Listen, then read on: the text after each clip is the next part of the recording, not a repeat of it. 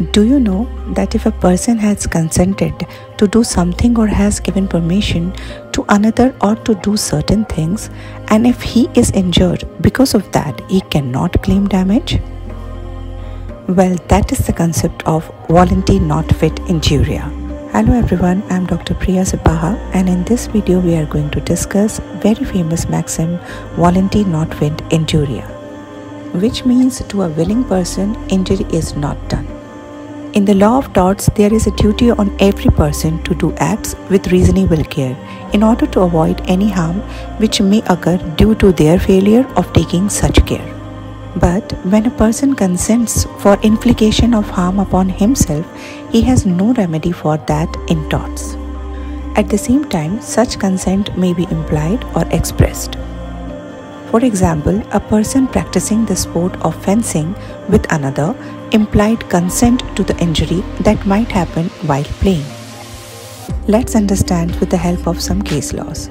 There is a famous case of Wooldridge versus Sumner 1963. In this case, a plaintiff was a photographer who was taking photographs at a horse show, during which one horse rounded the bend too fast. As the horse galloped furiously, the plaintiff was frightened and he fell in the course. He was seriously injured. It was held that the defendants had taken proper care in closing the course and the plaintiff by being in the show agreed to take the risk of such accident. The defendant was not liable. However, the point to remember is the action causing harm must not go beyond the limit of what he has been consented. For example, in a sports of fencing, person consented to an injury that happens while playing by the rules.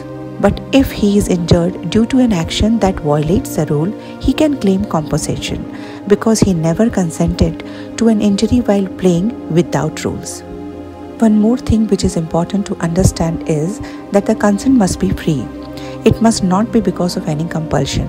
Thus, if a servant was compelled by a master to do a certain task despite his protest, and if he is injured while doing it, the master cannot take the defense of volenti non fit injuria because the consent was not free. There are some exceptions of this maxim where the defense cannot be taken even if the plaintiff has consented. First one is rescue cases. When a plaintiff suffers an injury as a result of him doing an act which he knows is likely to cause harm to him, but it is an act to rescue someone, then his defense will not apply and the defendant will not be held liable. Second, unfair contract terms. When the terms of a contract are unfair, the defendant cannot take this defense. For example, even if a laundry by contract absolves itself of all liability of damage to clothes, a person can claim compensation because the contract is unfair to the consumer. Consent by fraud. In cases of consent having been obtained by fraud, the defense of volenti non fit injuria will not apply and the defendant will be held liable for the wrong by him. Illegal acts. If the consent is given for an act which is not allowed by the law, even on the fulfillment of all the essential conditions of this defense, the liability cannot be escaped and thus in such cases the defense become inoperative. Negligence of the defendant. Volenti non fit injuria is not applicable in a case where the defendant has been neglected. Thus, only where there is no negligence by the defendant, he can claim his defense to escape liability.